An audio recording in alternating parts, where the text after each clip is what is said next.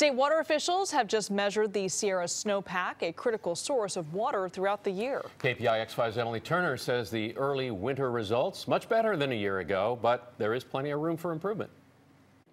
There was a lot of snowfall very early in the season for the northern Sierra, but since then it's been relatively dry. It all makes for a pretty average snowpack, but that's nothing to worry about. There's plenty of room for improvement, the Department of Water Resources says.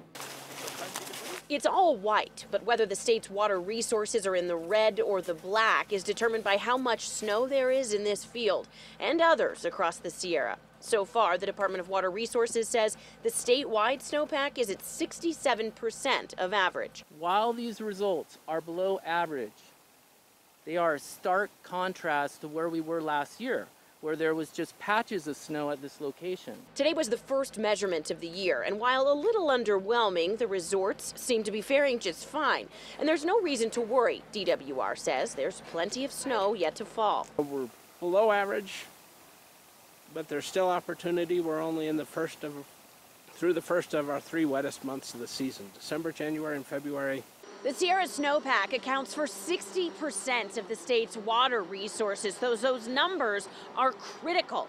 The Sierra snowpack acts like a piggy bank and slowly melts, providing water downstream to the higher population areas and the lower elevations in our hottest and driest months. It's also warmer during the coldest months of the year, DWR says, and that's likely playing a big part in those smaller snowpacks, a trend that's likely to continue. But they say they're prepared for it. So we have a number of programs in the department uh, working with that, uh, developing adaptation strategies. And on a hopeful note, moving in this weekend is another storm, and the folks here at Sierra Tahoe, as well as at DWR, are very hopeful that's going to drop plenty of snow. In the Sierra, Emily Turner, KPIX 5.